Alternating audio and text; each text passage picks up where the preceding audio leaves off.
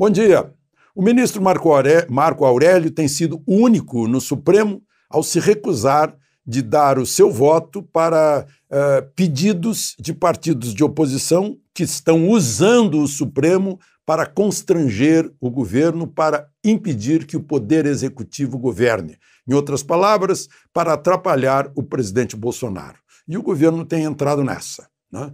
Uh, a última foi em que o ministro Marco Aurélio recusou uma liminar que o PDT pediu para afastar o ministro Paulo Guedes. A penúltima foi num julgamento que ele foi o único voto contra, né, em que o Supremo disse: não, a ABIN não pode pedir dados, digamos, para a Secretaria da Receita sobre movimento de dinheiro de corruptos. Né?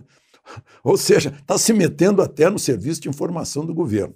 Aí Marco Aurélio, nesse, nessa votação da ABIN, disse o seguinte: partidos de oposição se utilizam do Supremo para fustigar o governo a partir de N presunções, num ranço que tem, que tem na origem da, da ABIN, Serviço Nacional de Informações. Né? E porque tem hoje, na presidência da República, um presidente de direita. Recuso-me a julgar com base em preconceitos. Ele disse que o Supremo está com preconceito. Ministro Marco Aurélio, não sou eu que estou dizendo. Agora, o ministro Alexandre de Moraes falou em tirania da maioria. Essa é a última, né?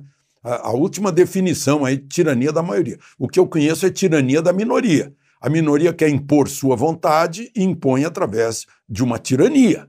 Porque a, a vontade da maioria não precisa de tirania, é democracia a vontade da maioria.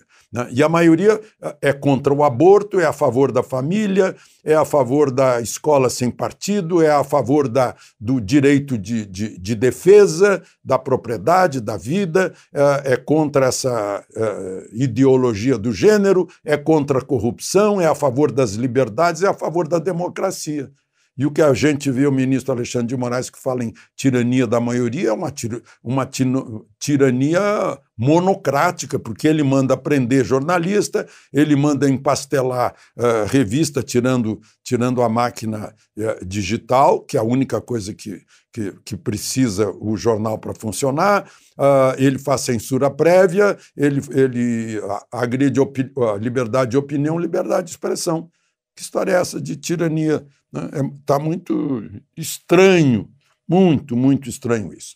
Outra coisa estranha são números. É, a gente está falando aí de é, Covid, Covid, Covid, mais de 100 mil mortos. E se fala em genocídio. Sim, genocídio. Genocídio praticado pelo boicote à hidroxicloroquina no tratamento é, é, precoce, no tratamento imediato provocou um genocídio. Inclusive, está nas mãos ainda das, dos investigadores o que fizeram lá em Manaus no início, né? é, que deram megadose, superdose, overdose de hidroxicloroquina para pacientes graves e causaram morte. Né?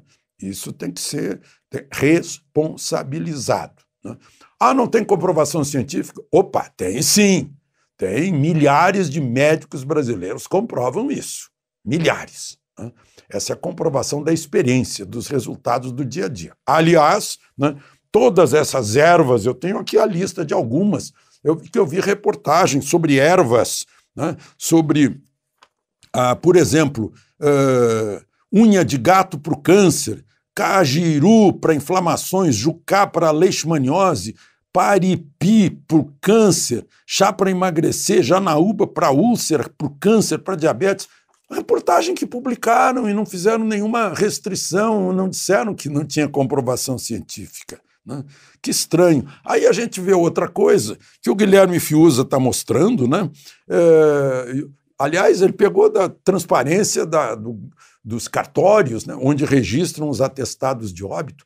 Todos os anos, né? todos os anos, temos aquela rotina de mortes por pneumonia, por AVC, por uh, insuficiência respiratória. Né? Uh, e aí, de repente, neste ano, despencou. Tem 34 mil mortes a menos de pneumonia. uh, quase 10 mil mortes a menos de infarto, quase 5 mil mortes a menos de insuficiência respiratória, 5 mil mortes a menos de AVC, 17 mil mortes de septicemia. Ninguém mais morre disso. Parece que descobriram todos os remédios para curar isso. Né? Ninguém mais morre disso, só morre de Covid. Né? E dá um total aí de mortes a menos, rotineiras de todos os anos, 70.684 mortes. Né? Uh, e não são mortes que. Uh, são mortes de todos os anos, de pessoas que já, já estão no fim. Né? Todos os anos acontece isso. Há um crescimento né, mais ou menos proporcional com o crescimento da população. Esse ano não. Esse ano caiu. Né? O número baixou aí em 70 mil. Que será que houve? De Brasília, Alexandre Garcia.